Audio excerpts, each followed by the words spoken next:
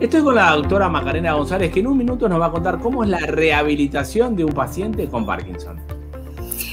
Bueno, la, rehabilitación en general en cualquier paciente tenemos diferentes modalidades dependiendo de las características del paciente y de los objetivos que tengamos. Puede ser tanto presencial como a distancia. Hoy en día con, el tema de la pandemia se hace rehabilitación virtual a distancia eh, y puede ser grupal o individual